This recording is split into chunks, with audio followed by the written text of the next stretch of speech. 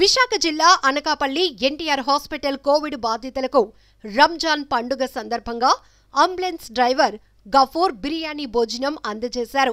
Covid బాధితులకు త్వరగా కోలుకోవాలని అల్లాని ప్రార్థించారు.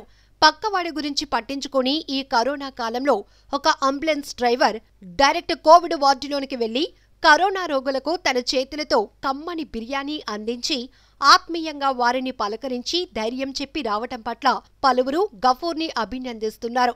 ఈ సందర్భంగా గఫూర్ మాట్లాడుతూ రంజాన్ సందర్భంగా ఏదైనా మంచి కార్యక్రమం చేయాలనుకున్నారని ఇంటికి కుటుంబ సభ్యులకు దూరంగా కరోనా బారిన పడి మదన పడుతున్నారు. బాధితులకు ధైర్యం చెప్పాలనిపించి ఈ కార్యక్రమం చేపట్టారని గఫూర్ తెలిపారు. కరోనా సోకితే కుటుంబ సభ్యులు దూరంగా ఉంటున్న ఈ తరుణంలో గఫూర్ ప్రదర్శించిన తెగువ పలువురిలో స్ఫూర్తి కలిగించాలని ఆహారాన్ని అందించిన వైనంపై పలువురు ప్రశంసల జల్లు కురిపిస్తున్నారు.